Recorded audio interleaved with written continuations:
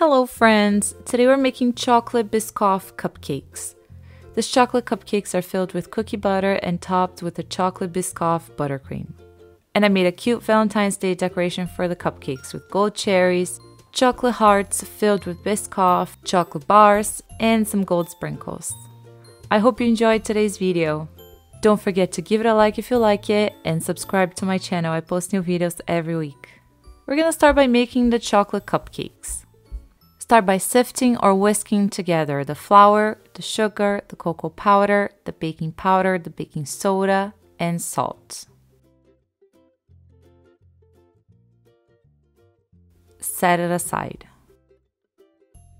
In another bowl, mix together the egg, milk, oil, and vanilla. Whisk until incorporated. Then add the wet ingredients to the dry ingredients that you mixed earlier. And whisk until all the ingredients are combined.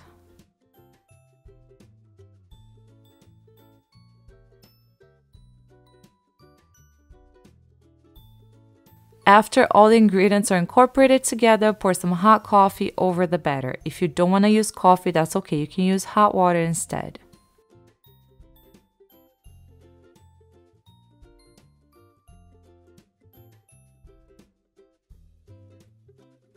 The batter is supposed to be super thin, which is why I transfer the batter to a measuring cup with a spout so I can pour it in the cupcake tins.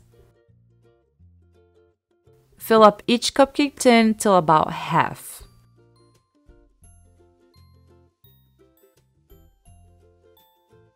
Don't fill up more than halfway. Since the batter is super liquidy, I find it much better this method of pouring the batter in than scooping it with a cookie scoop.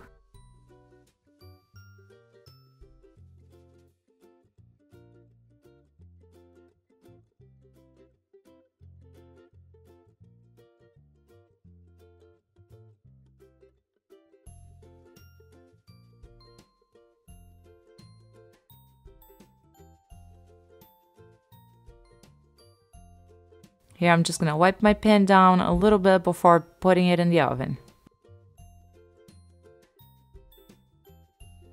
Bake the cupcakes in the preheated 350 Fahrenheit oven for about 18 minutes until you can touch the surface of a cupcake and it'll spring it right back. Or you can use a toothpick and insert it in the cupcake and if it comes out clean, it means they're done. Remove the cupcakes from the oven and let them cool down. While the cupcakes cool down, we're going to make the chocolate decorations for the top of the cupcakes because they need time to dry and set. Here I have some candy melts. You can also use chocolate if you want. And if you're using actual chocolate and not candy melts, you might want to temper the chocolate before doing this because we're making chocolate decorations. And then as the chocolate dries, if it's not tempered, it might become whitened or fade in color. I like to use Ghirardelli chocolate melts. They actually taste pretty good. Here I have my heart silicone molds. I'm just going to pour a little bit of melted chocolate in the bottom of each heart. And then I'm going to use this brush to help spread the chocolate through all the surface of the heart, the sides and the bottom.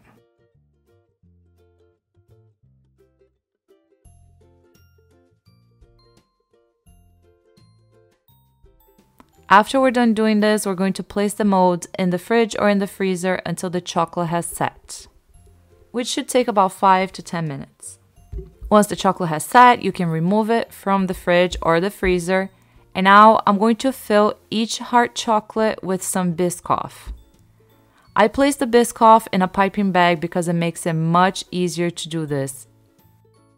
And the chocolate hearts will be much neater. Then we're just going to fill up the molds with more chocolate to the top. And you can use the brush or a spoon to make sure that the chocolate is evenly distributed. And I also like to use a spatula to smooth out the chocolate and to remove any chocolate excess from the sides.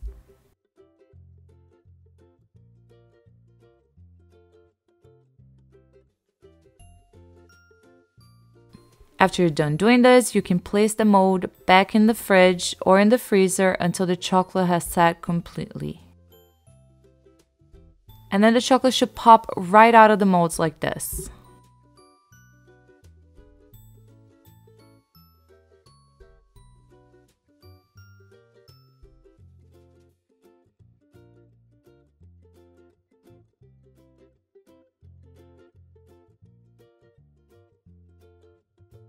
I also did the same thing with this mini chocolate bars, but I didn't fill them because they're so thin. All I did was pour chocolate in these molds and I placed it in the fridge until it was set.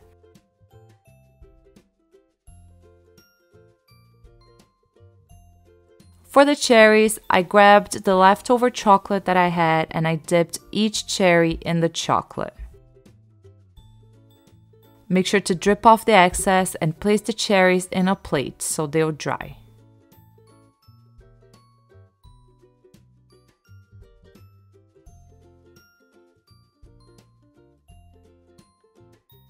Once the chocolate cherries were set and dry, I dipped each cherry in my container of golden luster dust. That makes them super pretty. I learned this from my friend Sherry Wilson from Instagram. She does this to her cakes and her cherries are just so beautiful. That's why I learned this technique.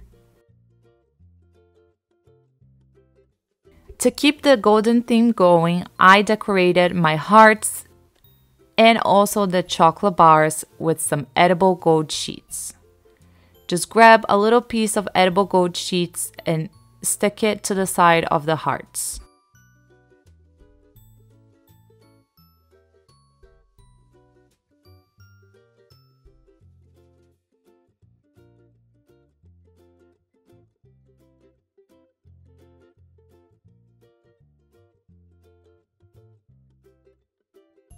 Now that our cupcakes have cooled down, we can go ahead and fill them.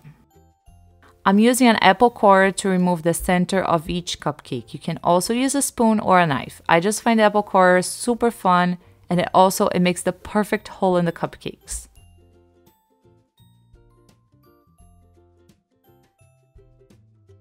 After removing each cupcake center, pipe some Biscoff or spoon some Biscoff in the center of each cupcake. I find that piping to be way easier than using a spoon and way less messy.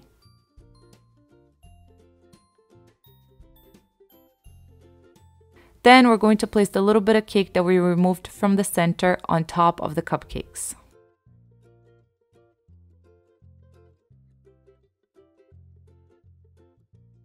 And our cupcakes are filled, our chocolate decorations are ready, we are ready to frost the cupcakes. So let's make the chocolate Biscoff frosting. The chocolate Biscoff frosting is super easy to make and is so delicious. Whip the butter with an electric mixer for 1 to 2 minutes until the butter is fluffy and creamy. Add the cookie butter and mix to combine.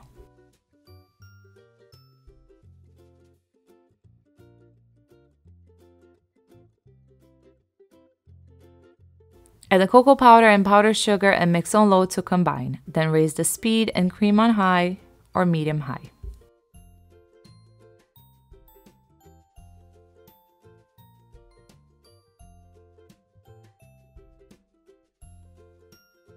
If the buttercream is dry, add some milk or water to it, just like I'm doing here. But if the buttercream is too runny, add more powdered sugar to make it stiffer. Or if it's perfect, don't add anything.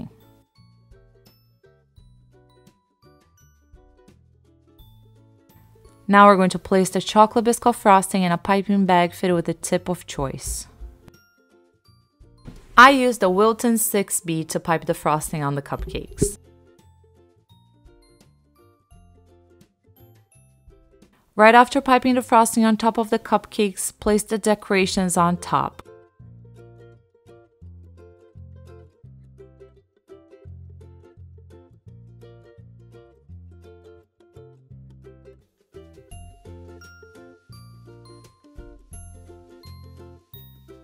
And voila, that's it. I hope you enjoyed today's video. The full recipe, go to my blog piesandtacos.com. I'm going to put a link down below in the description box. Thank you so much for watching. Bye!